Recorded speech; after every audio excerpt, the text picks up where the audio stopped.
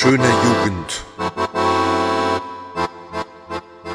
Der Mund eines Mädchens, das lange im Schilf gelegen hatte, sah so angeknabbert aus.